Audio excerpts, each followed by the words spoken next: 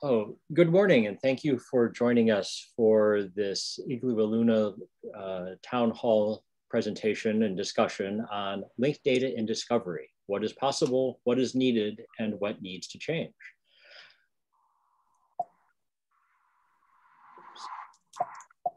Sorry. Um, I'm, uh, I'm Ken Varnum, uh, Senior Program Manager at the University of Michigan Library and a member of the Linked Open Data Working Group. And I'm very pleased to moderate this panel discussion uh, today. Um, as we get going, I'd like to remind everybody that to please mute yourselves uh, unless you're speaking during the question and answer period at the end.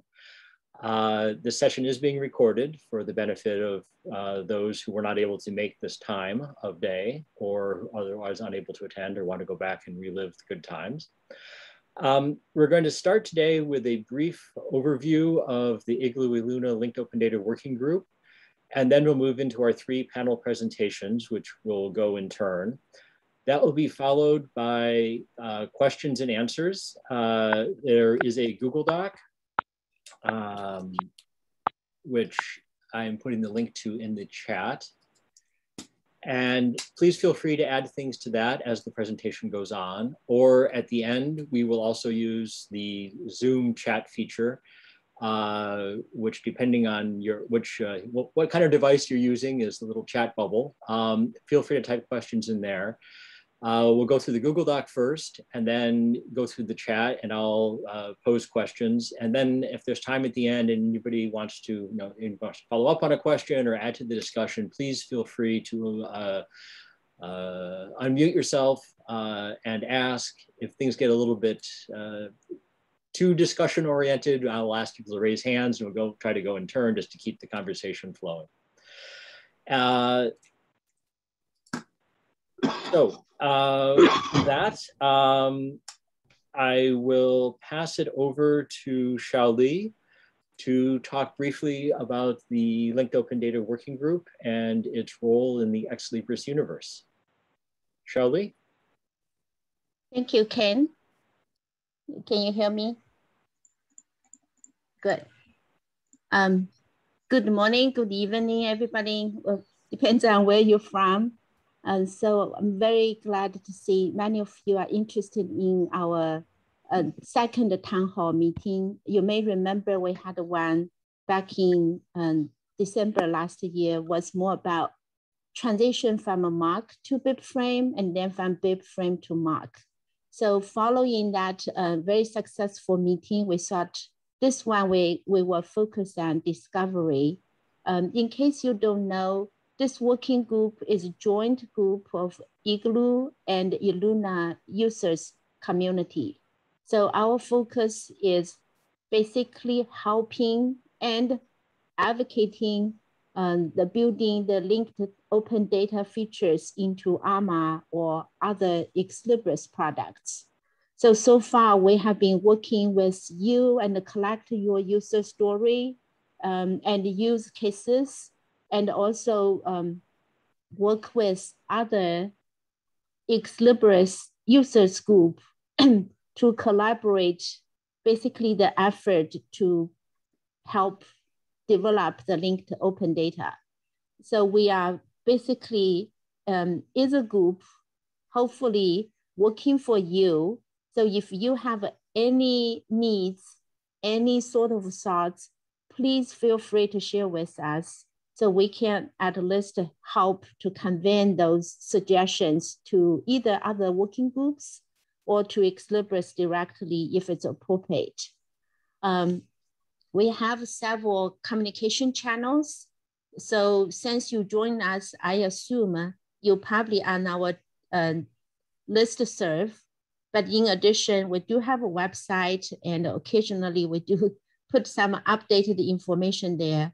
And most importantly, we would like you to send your linked, linked data user stories or your user um, cases.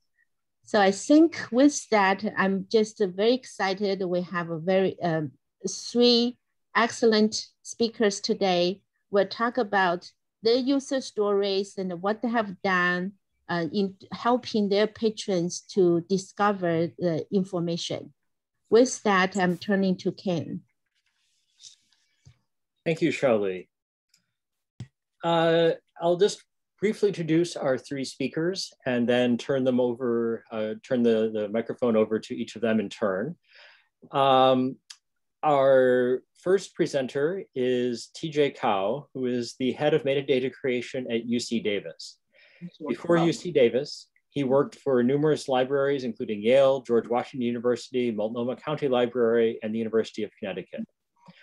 While he spends most of his time dealing with MARC 21 data, he has been exploring incorporating more linked data in his daily catalog. Our second presenter will be Steve Meyer, who is the data strategist for the University of Wisconsin-Madison Libraries. In this role, he works on a range of data projects from library policies for data and data governance, as well as technical projects like the linked data implementation that he's going to be showing us today. And last, but certainly not least, KT Lam is the Associate Director of Library Services and Head uh, Systems and Digital Services at the Hong Kong University of Science and Technology Library. This library has a few linked data projects involving ALMA, PRIMO, Chinese Name Authority, Institutional Repository, and digital, scholarship. KT is the architect behind all of these initiatives. He is also a member of the IGeLU Eluna Linked Open Data Working Group, which as Xiao Li noted, advises Ex Libris on implementing linked data capabilities. Now I'll stop sharing and pass it on to TJ.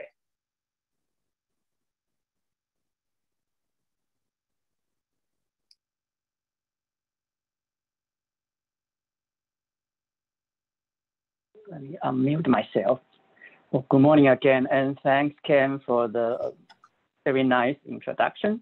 And my topic for today, for the next few minutes, I'm going to talk about the use case of uh, identify, uh, identification of a works expression manifestation in Primo.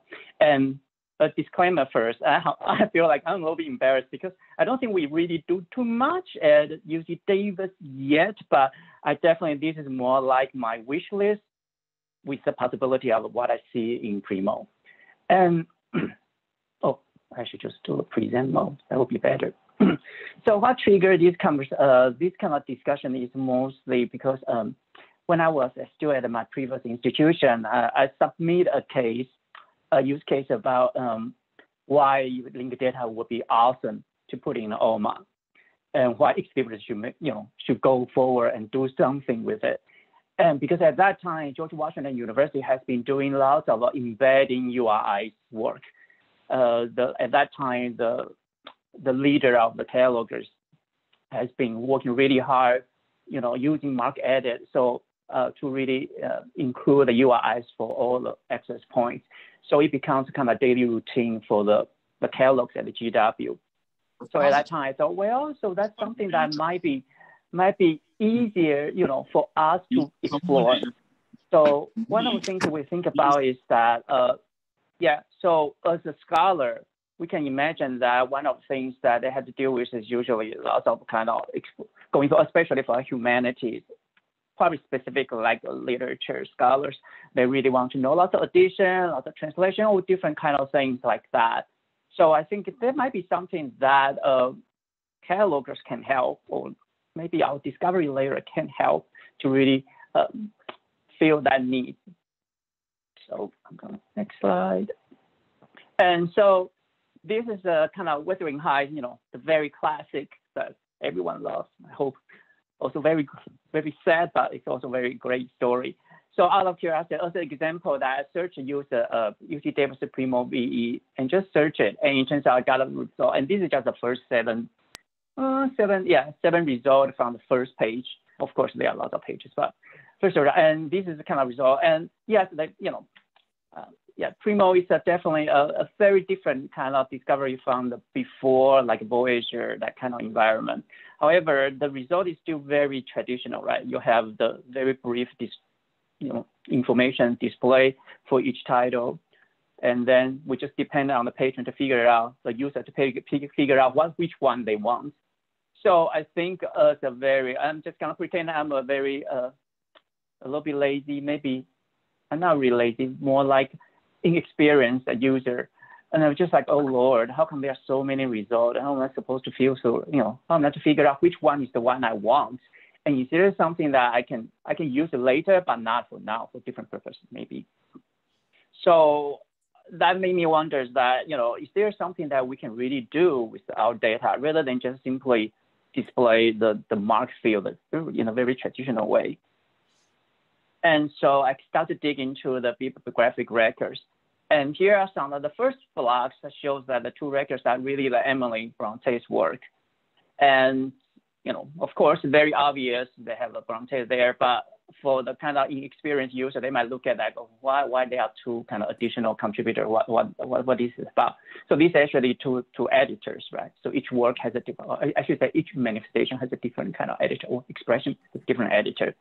And when we look at the bib of um, OCLC's uh, the bib records, actually there's a 758 kind of work ID.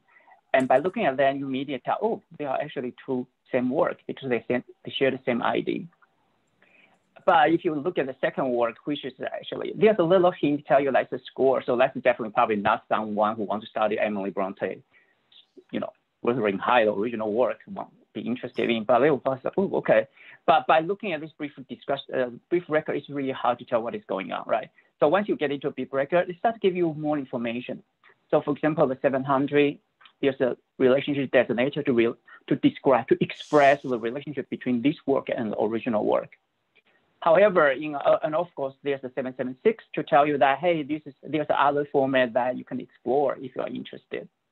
And again, there's a 758 to tell you that if, you know, if patient look at that, oh, it's actually a different number from the, from the original work. And the other thing is that, yeah, so, yeah, the other thing is that we're not really a kind of complaint, but so there's a kind of related title, kind of to express that there's a, another you know, to show that 776 that there's another format. But when you actually click on it, it just generates a, a title search. Yeah. So it's like, hmm, that is a better way to handle this rather than just a text string search. Then the last one is another work. It's a book with my high, but this time it's also very confusing. So this time the, the, the other author becomes the first author. Once you get into a record, you finally realize, oh, this is a play based on the original work. So, but then again, the ID actually tell you that it's a different work. So that makes me wonder that whether what we have really put in the bib record should really help the patron to really make this discovery experience a little bit better, right? Rather than this kind of texturing or lots of clicking, they have to click it into the record in order to see some stuff. So, so that just give me a light bulb. It's like, hmm, how about using the URIs we have already put in a record and, and not just the bibliographic record, but also the authority data because, you know, catalogs have been very religiously kind of adding those, wonderful 3XX into the authority records. And lots of them are actually, you know, they are authority, they are, they are from the control vocabulary. So they are probably, some of them have already got URIs ready to consume.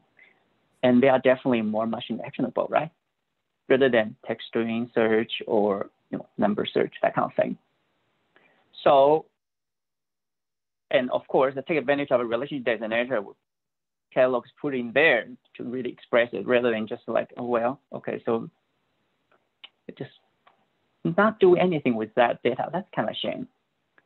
And that just made me wonder that if there is something that, of course, we can reinvent well, well, I shouldn't say reinvent well, there are something that Primo is already doing now, right? Like FRBRization and also um, dedupe, that kind of thing to help patients. But it's still very kind of very clicky and it's not really very dynamic. So that made me wonder whether there are some more kind of more dynamic kind of tools. And definitely there are some kind of example out there, like a Google Knowledge Graph. It's a little bit clicky. You still have to search in order to find the car, but hey, it's step a little bit step forward than before. And of course, the author card is something that's very interesting to see um, that whether there's a possibility that would really use rely on query, that kind of thing, and display in the record in some way. However, I want to back that whether it's possible that even those kind of things can happen at first screen. You know, for example, I'm thinking the sky is the limit. And I think that maybe a cursor move to a, a, a access point that have a URI embedded maybe some kind of knowledge graph will pop up and give you some additional information. And windows pop up that has additional links that take you even further. Of course, this kind of technology probably not really, uh, I'm thinking about more like, uh, now depending on the patient to click, whether the machine can be smarter that when people actually move around on the screen, then the server or the actual machine will immediately do something, do something on the fly query, that kind of thing, based on the URIs already present in the record. So I'm glad that uh, my next, the next speaker, Stephen, is going to talk about their experience using the author card. So I'm, mm, that's pretty much what I have. But well, thank you for attention, and I'm interesting. I'm very looking forward to any kind of discussion and thanks. Okay, hello. Let me uh, get my slides presenting. Okay, uh, let me know if you're, just please someone chime in if there's any trouble um, seeing my screen or hearing uh, what I'm saying. So uh, thank you, thank you for uh, the invitation to talk about the knowledge card work that we have done. My name is Steve Meyer. I'm the data strategist at the UW-Madison Libraries. And we've, we've um, had knowledge cards in our library in our library catalog that are based on uh, remote linked data sources for a couple of years now. Um, so I just want to talk about kind of the philosophy behind this and the in the background and do a couple of quick demos. So first off, um, for just a, a, a little bit more about what we were doing in our approach to how we would work with um, linked data on our campus. Uh, there, I'll share these slides because there's a number of links in them. Um, but there's a there's a write up here. It's sort of a it's written by me. It's a little bit of a poorly written sort of blog post style thing, but it but it explains the philosophy that we have. That what we were focusing on with working with linked data is not um, all of the efforts that are going on around BibFrame, um, all of the things around data modeling and reimagining sort of what the future of MARC looks like. We were trying to think about given a world in which we have these identifiers, these URIs, where we can link to, to data in the outside world, what, what would that enable us to do in discovery? So that's a, a brief um, um, overview of the philosophy behind it. So at a really high level, what our library catalog does is it is we call I, kind, I sometimes call it bibliographic description crawl or a linked data crawl. Um, this is kind of the flow of what, I, what you're going to sort of see on the pages that, that I'll sort of um, demonstrate. At the center, we've got the library discovery interface. Um, we're using a, a, local search interface, we, uh, but we are using the same feed, the publishing feed from Alma to Primo. Uh, we just uh, are, are sort of listening in on a copy of that data as the publishing updates happen. And in there, we've enabled the LC name and subject identifiers to be present in that in those um, in that published data. So when that data is there, that means that it's accessible to our discovery index. From that, we're able to actually sort of resolve the URIs for the Library of Congress name authority file um, URIs. So we, we do this and we do look at the both the um, kind of personal uh, the main entry and added entry for sort of personal names coming from 100 and 700 fields, and also from the 600 fields from topical um, name entries. We take those URIs, we go over to VIAF, and then we've got some code, um, which there'll be a link to if you want to, if anyone is interested in um, exploring it. We go over to VIAF, given an LCNAF URI, we resolve this the VIAF entry, the entity in VIAF for that. And then from there, we can actually go to get, get to our sort of um, using VIAF as a data hub, we can get to a couple of other remote data sources where we pull in more information. And those are Getty vocabularies, Wikidata, and DBpedia. The latter two are both, you know, machine readable linked data versions of um, of Wikipedia data. So the concept here is I like to sort of describe it as if we're going to render a knowledge card, the data underlying it is sort of what I like to call a micrograph. It's a very small amount of triples that come from a diverse set of, of um, multiple sources. So as you can sort of see, this, this looks like a lot of data, but that's just because it's in the N triple URI form. But all of these, this is, if you think about this just being a set of triples, that's not a lot of data that we can grab and render a knowledge card that sort of enhances our the discovery.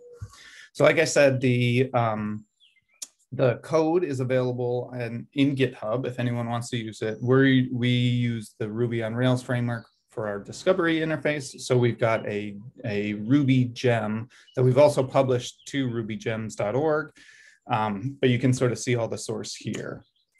So um, getting to some of these examples. Um, so let me see here. Actually, let me go start here. So one of the ones, uh, this is the a book by Gertrude, the author Gertrude Stein. Um, we've got our typical library catalog display of all the information. And then down towards the bottom, we've got this collapsible section, information for the from the web. Um, we had a hard time coming up with a label for how to do this. Um, we got a little explanatory bubble that sort of explains why, you know, what the source of this is.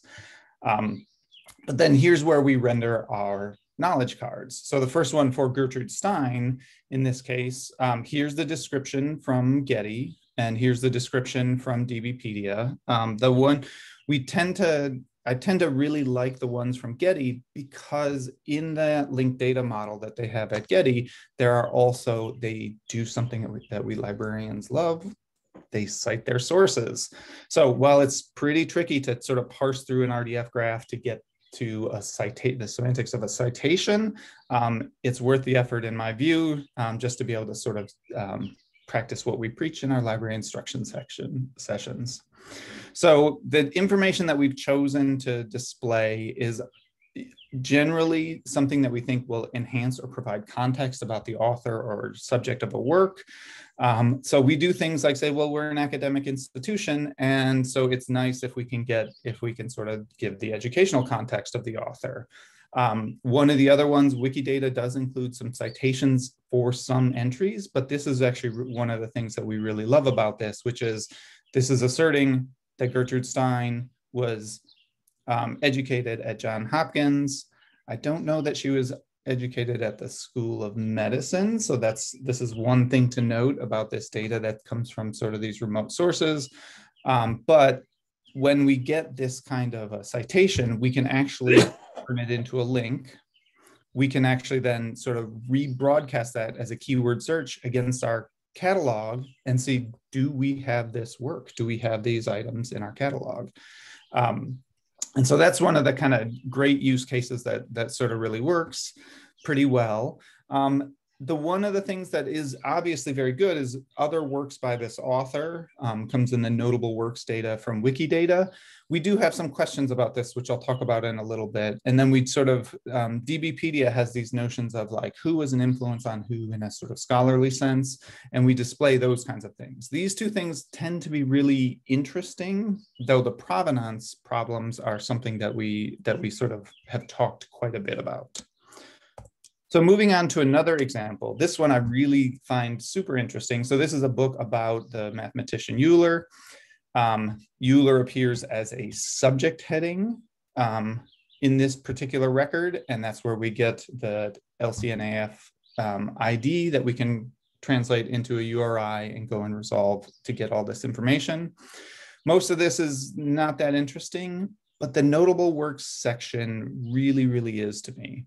So one of our librarians in our special collections um, library said, "Hey, let's take a look at let's we we we sort of pushed on um, this feature by sort of trying to go and explore and see what kinds of wiki what, what kind of data was going to come back for these people um, as we as we displayed the knowledge cards and we looked up Euler and to our surprise, we didn't find works in the library sense of things that we'd have in our catalog. We found things like a reference to Euler's theorem, which is actually a, a, super interesting concept because that actually, I wasn't expecting to see that. It broke me out of the notion of like the library centric notion of what is a notable work.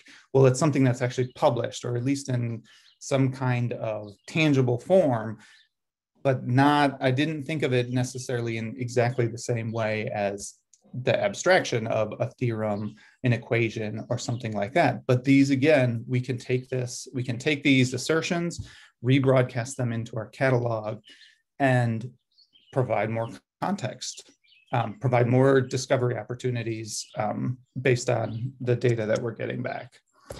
Uh, the last one I'll show, this is Michael Pollan. I think he is a professor and a journalist, um, and he is a fairly famous author on uh, topics around food. Um, so one of the other things that for more recent authors that you that we sort of thought would be an interesting thing to do is to say let's let's pull back film appearances. So this is again more information that our catalog data for a record about a book does not have about this author. What films did this author appear in? And again, rebroadcast that link and see that look, oh, if someone is interested in this author, they can actually probably also find this film in our in our collections as well. And so for these kinds of things, this is enhancing the record with data that our bibliographic description doesn't have. And that has really been sort of like the entire philosophy for how we've approached this. Um, I like to um, frame it around this phrase that's been repopularized recently by OCLC, um, I don't think they're doing a good enough job of citing the original authors, as far as I'm concerned. But I went to the UW Madison uh, Library School. Now it's an iSchool, and they they sort of talked about this a lot. This uh, this phrase that was coined by a, a former faculty member, um, Douglas Zweizig. Um, the this notion of the library in the life of the user rather than the user in the life of the library. Um, the idea here is that we should situ- we should sort of flip the context of what we would sort of normally assume. And so in this case, I think this works really good for a linked data um, context because I think of it as let's situate a work from our collection within all data about its creator, not just what we know. And I find that to be sort of very interesting. It's sort of a, it's a bit of a sort of humility factor for libraries to, to sort of think we have these great catalogs. I agree that we have some of the absolute best, most robust description in our MARC catalogs ever, but there is definitely more data points about these authors that um, the rest of the world knows because we're focused so much on the um, things that are actually in our collections. So uh, this is the, that's sort of what we're doing. I do just want to sort of end up with a couple of notes about some of the um, critical examinations that we've done of this data. Um, some of these, again, I'll share these slides, so feel don't feel like you need to sort of read. I'm running at the end up to the end of my time, I think, so I'll go through this fast. But there are some things um, we were very concerned about displaying Wikipedia data and all bringing all of the related controversies surrounding the kinds of content authoring that happens in Wikipedia and whether or not that aligns um, aligns itself with the values at our institution. Um, these were some of the things as we were, were going through those exercises and just sort of pulling up knowledge card after knowledge card, thinking critically about what we're seeing, what is the data, do are we really comfortable with this? I'm happy to talk more about this with anyone um, who's interested. Um, but there are there are some concerns that you should have and you should think about the data elements that you're picking very carefully including those just general descriptions um, other times there's also just generally we've made some general notes about just lackluster content. Um, things like oh you know wallace stevens notable works missing the thing which won him the pulitzer prize. Or the fact that some of these data sets don't get updated as frequently and so maybe something like kehinde wiley's bio lacks mention of the obama portrait which is a very very significant piece of work um, for that person. Um, so we did actually develop um, a mechanism on our campus that if we needed to, if we found a knowledge card that had offensive content, we could sort of very quickly block it from display, kind, um, kind of add its ID into a sort of non-display list. And we, we thought that we would have to do that for some of these issues um, around sort of bias and uh, quality of content. One of the the one thing that came up that we that recently that um, sort of surprised us was that we had an author of a book.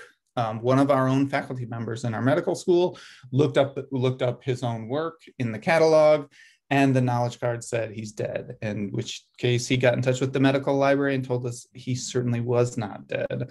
Um, and this was a case where there is a mix match, mismatch in the algorithmic merging of data that comes uh, to people with the same name, same profession on the VIAF side that we um, that we noticed the assert the same as assertion. Um, I'm not sure exactly which which um, uh, which ontology it came from, but it simply is wrong.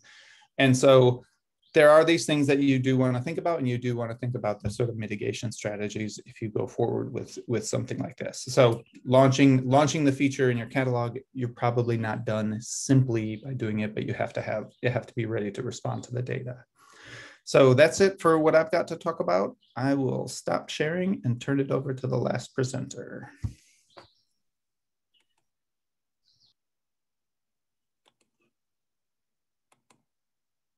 Okay, uh, thank you, Steve.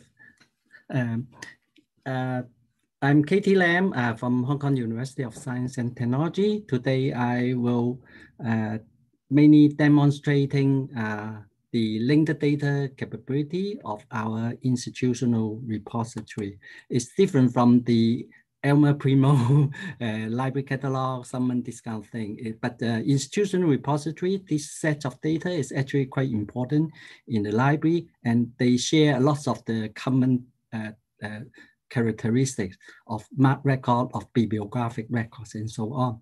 So uh, uh, let's start. Um, our institutional repository, we call it SPD, uh, actually it's not just uh, the research output. We also have profile of our faculty members. Uh, you can consider this as an authority record of the author of the research output. And uh, uh, in last year, we start also harvesting uh, funding data, funding information from Web of Science, and also open access policy data from uh, SHERPA Romeo. So when we are we, when we're doing this harvesting, uh, we took the opportunity to revamp the data set and convert it into uh, linked data. We hope that by having it in more structured linked data with uh, URIs and all this actionable link uh, will make the institutional repository more discoverable and so on and so forth. So uh, we decided to use schema.org uh, which is actually a very popular vocabulary for structured data. Lots of people are using it and uh, it's an open community uh, developed uh, uh, project um, and uh, attempts to cover everything. So this is quite good. Um, so these are the schema.org types that's being used in the SPD and this is uh, some of the statement. For example, uh, this URI, the research output, uh, has an author uh, of uh, a, another uh, of the profile of a faculty profile. So another URI. So the property here is the schema property. And these are the work, the types in schema.org. These are the capability, linked data capability currently implemented in uh, uh, SPD. I will start uh, showing, uh, uh, demonstrating this, uh, these features. First of all, I mentioned that we have used schema.org to model the, the data. we actually find use the only schema.org in the in in in the schema in in in the uh, data uh, for all these types.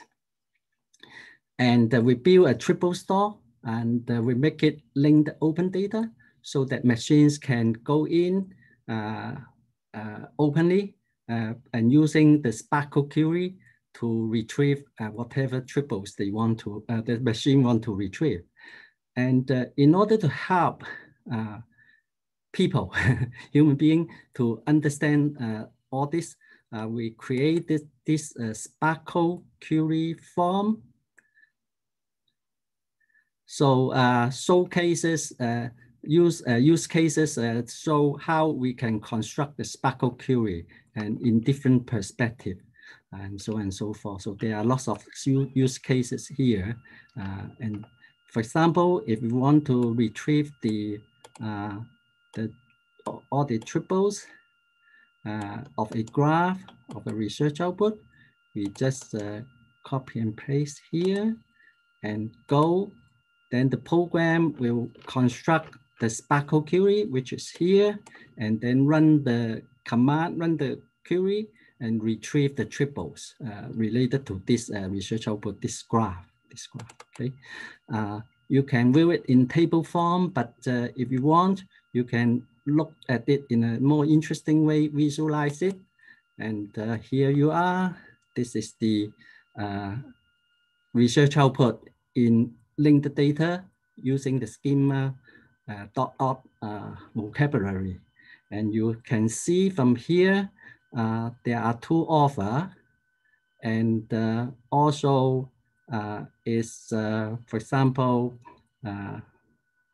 uh, uh, is part of the of the where's the it's part of this issue, journal issue, and this journal issue is part of this journal, and this journal actually have a Romeo open access policy data in it. So like if you click on the uh, double click, you will retrieve the graph of this author, of this profile. And uh, you see that uh, uh he actually has a Wikidata item uh, with the Q number uh, harvested into, into the profile and so on and so forth. let's go back. if you click on this Romeo, you see the uh, model, modeling of the Romeo data, the policy data uh, in schema.org uh, and all, all this kind of thing. Okay, let's go back. Uh, we finished that part uh, of uh, uh, SPARQL queuing thing.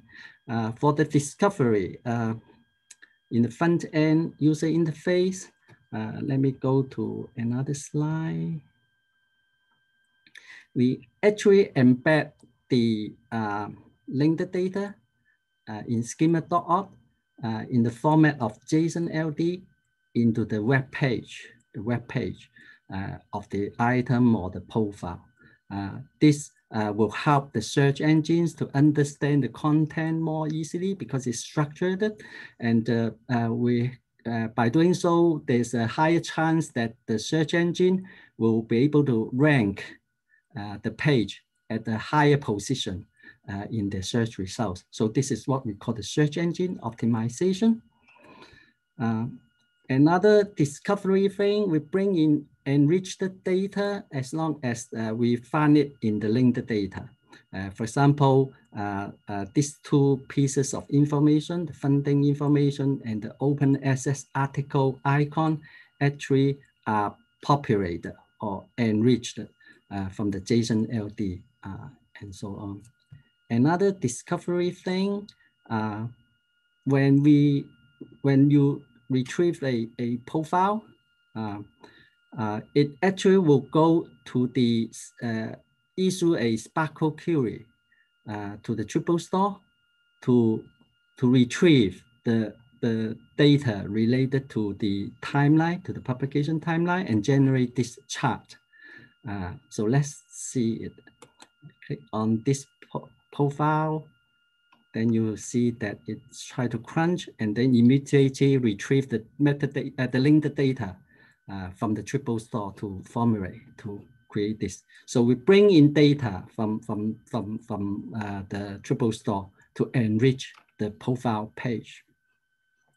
You actually see that uh, this profile. He is actually our past president, uh, has a wiki data page, and uh, this ID are actually harvested from the from the Wikidata page.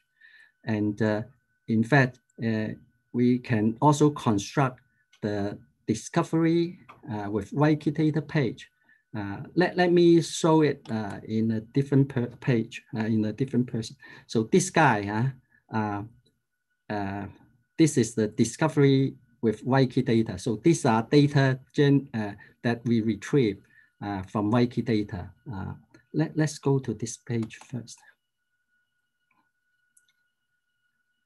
So here we are and uh, uh, showing the Wikipedia article link where he educated, uh, the award he has, he have, uh, the doctoral advisor, his uh, students, and so on and so forth. Uh, interesting enough, uh, when we do this project, Uh, we, uh, as a biportal, were able to generate uh, an interesting thing, academic genealogy, based on the advisor in, in the Wikidata database, dataset, open dataset. Uh, so let's uh, click and see how it looks like. Okay, so it generates this very interesting uh, chart or trees of uh, this uh, professor, right? So uh, he is his doctoral advisor and he, this guy is his and so on and so forth. By networking uh, all these advisor, you build the uh, academic genealogy of this professor. Uh, you can find some very big name here. Uh, I don't know where, uh, for example, cow, Ga Gauss, right? And so on and so forth. Uh, you actually click on the photo, double click on it uh, to go to the Wikipedia uh, item. Okay, covered this.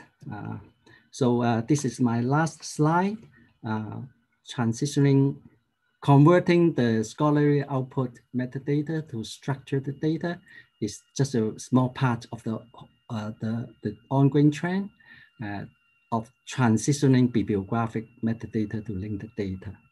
And I think with this transition, uh, the new normal of our librarians, uh, metadata librarians will be quite different.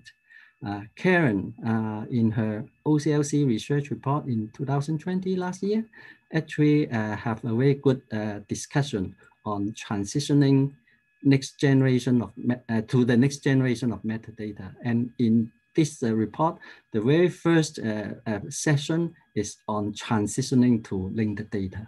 So I, I, guess many of you already have read it. so my last comment, the metadata librarians uh, behavior or the, the way of doing thing might be very different after we transition to linked data.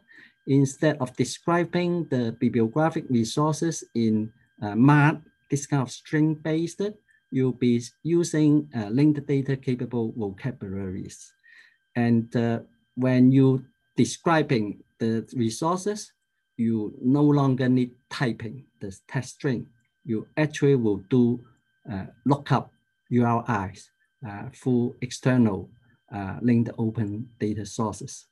And one more is that uh, currently when you do authority control, you have to be very careful about the preferred terms or preferred name. But in linked data environment, you actually don't need uh, to have this kind of restriction. You should be able to assign as many URIs as possible as you think uh, is, uh, is relevant uh, in, in, in the description uh, from multiple linked data sources. Okay, so uh, that's all from me for now. Thank you. So I'll close the sharing. All right, well, thank you very much, TJ, Steve, and KT for those, those presentations. Um, we did publish the, or did uh, advertise the, the question document before the presentations, and a few came in, and I've uh, noticed that a few were entered during, uh, during these presentations, and I did copy a couple from the chat over there. So I'm going to switch over to that Google Doc, uh, which again is, um, sorry, uh, too many screens open. Uh, and uh, I'll just ask the, the, go through the questions in the order they were asked. Um, the first one here is, given that much of the metadata for e-resources emanates from content providers in ONIX format, should we be working with the publishing industry to enrich their content standard, which is a native XML format? I'll open that to any of the panelists that has a thought on this.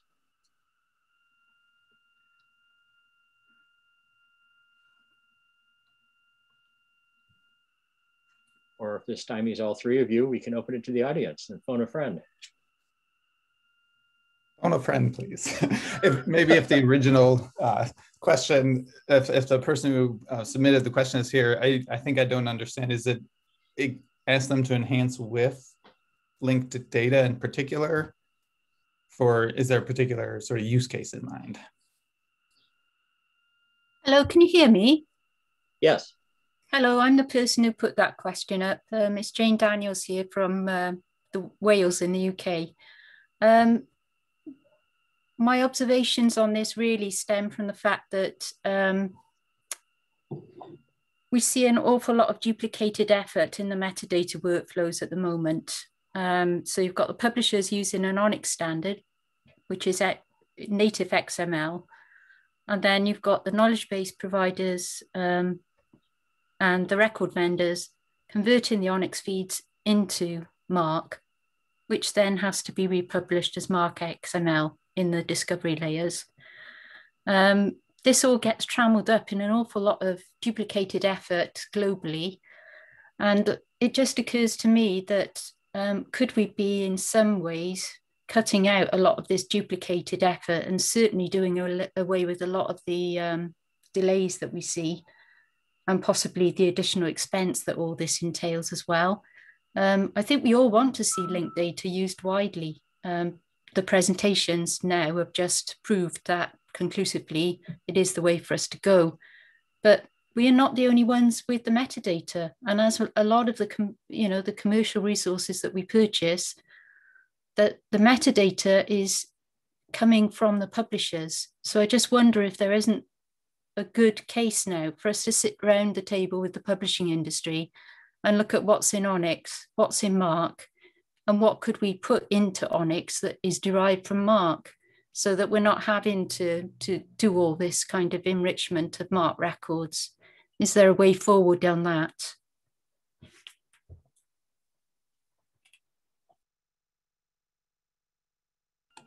I, I think there is definitely uh, a, a uh, an option that if the originator, the, the create, the beginning creator of the content of the resources uh, can actually uh, do it in, in linked data in a format that is acceptable for, for, for, for consumption uh, in the catalog.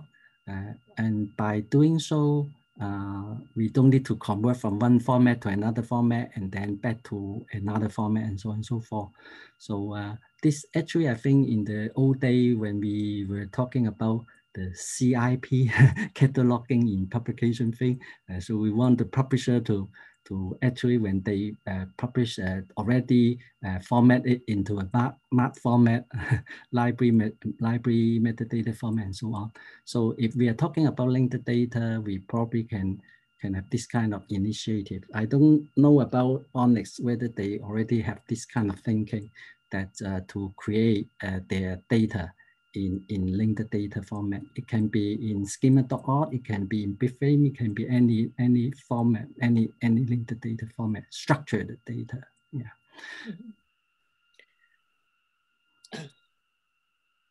I'll just add that so based on our experience using linked data, um, I, I have been coming around to a thought that it, essentially linked data works great as almost a lingua franca, a kind of universal communication, which is, you know, given that the ontologies can be sort of referenced on the web themselves, they can be sort of, in some sense, sort of self-documenting.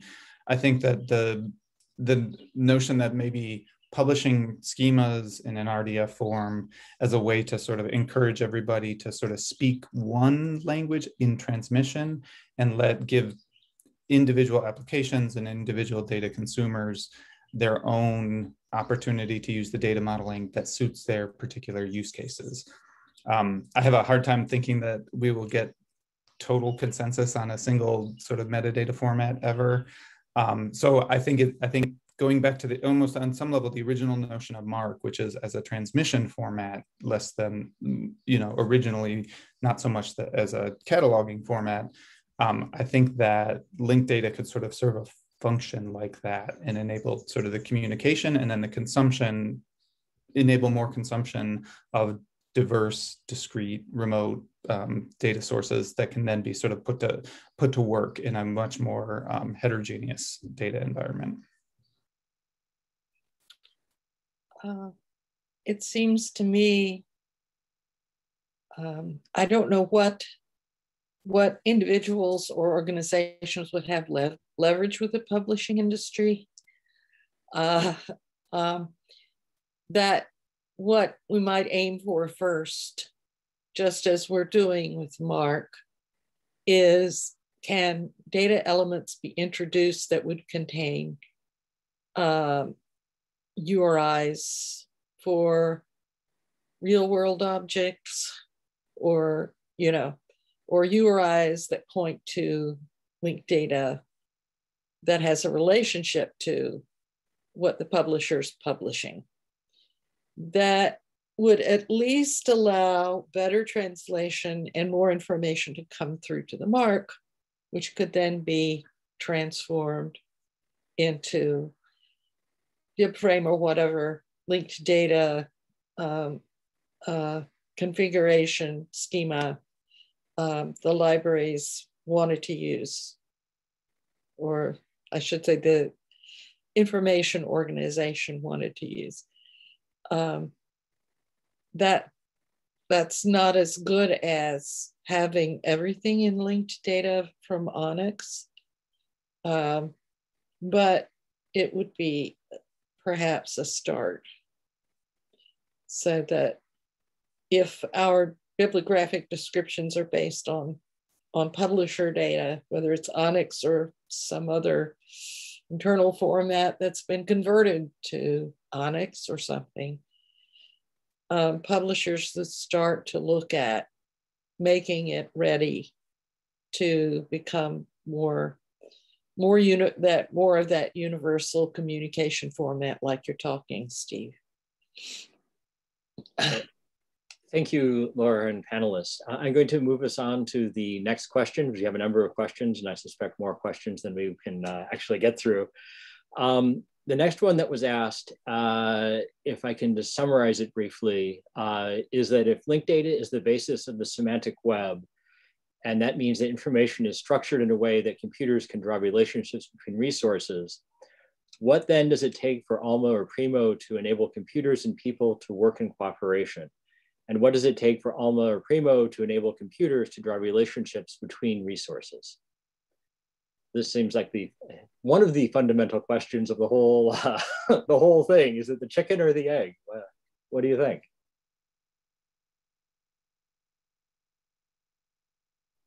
Well, so one thing I'd suggest is that it, with the with the kinds of things we could do with linked data in discovery, there is a there is a very very critical set of decisions to make about what metadata, what attributes do we want to bring into our environment. Like, and some of them are some are just very simple. What is actually relevant to a researcher of you know at my institution or my or my patrons, and maybe it's different for public libraries or academic libraries or special libraries. And so on some level, this notion, I, you know, computers and humans sort of working a little more cooperatively is, is actually saying, does cataloging become more of a process of algorithm design in how these, these crawls happen in the way that we're, we, we're trying to sort of present it today?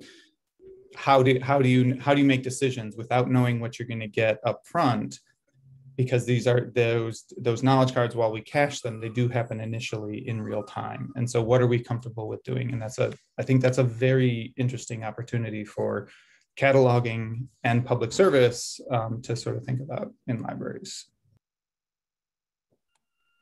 Yeah i i think uh, computer and uh, people uh, have been working together uh, for example, uh, in the old, old terminology, we call computer aided or computer assisted uh, things like workflow or whatever. And in this uh, newer newer approach, we, we, we may call it robo advisor. you know, a computer helping you to to to uh, something to do to some algorithm and then advise you in different types of things.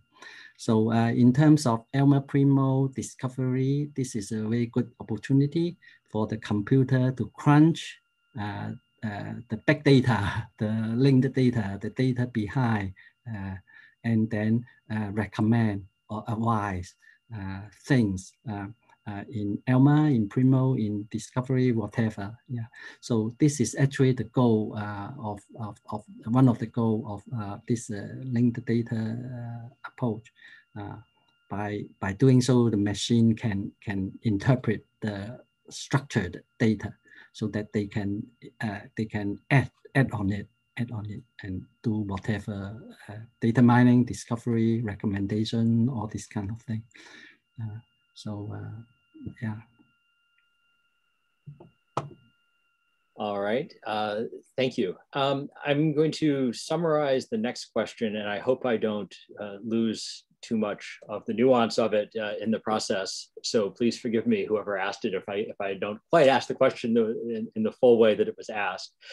But in short, um, it, the, the questioner notes that Primo is very limited in what URIs or URLs it stores in the PNX. And these are mainly those that link to content somewhere like the 856 field. There is no way to capture the relationships to aspects of the description that we already see embedded in our MARC records.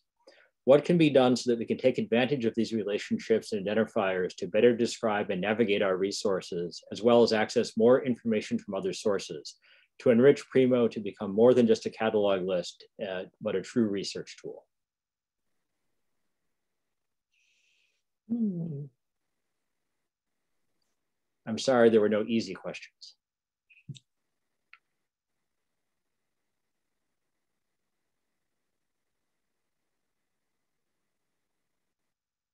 Hmm. If we've stumped the panelists, I'm happy to entertain thoughts from the audience.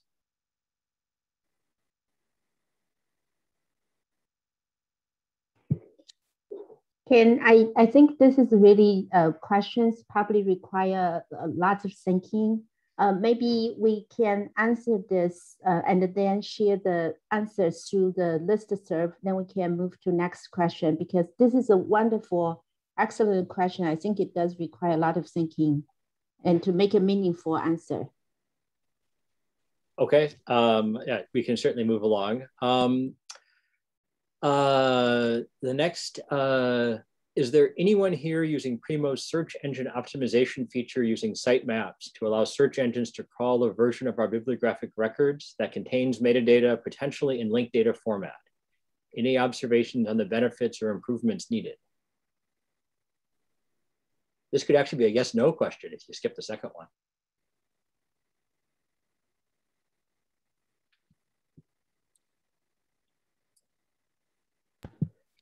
So I, I know at UC Davis, we, we implemented this feature, um, but it's by our digital application group. And I think I occasionally ask, um, did we actually attract, attract a lot of traffic from the web? I think the ones I mentioned, um, so far we haven't because there's a couple of reasons. One, um, most of our data are description they're not really contain the sort of like a link, uh, linking a way computer can understand. So that's why I think Google basically skip those most of the time. So, so far we haven't really had a very uh, sort of a good use of this, but mainly because our data isn't really linked data per se. It's just published as a linked data, but bunch of description. So Ken, as you said, is a chicken egg situation, right?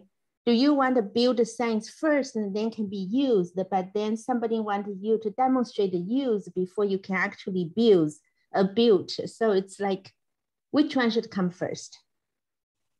And we we are at time. I don't. I, I think this is this is uh, I think a really important question. I just want to point out uh, Steve Meyer's comment uh, in the chat that uh, we should also think about what we want to do. So the advice is to keep the user story work going and to think creatively.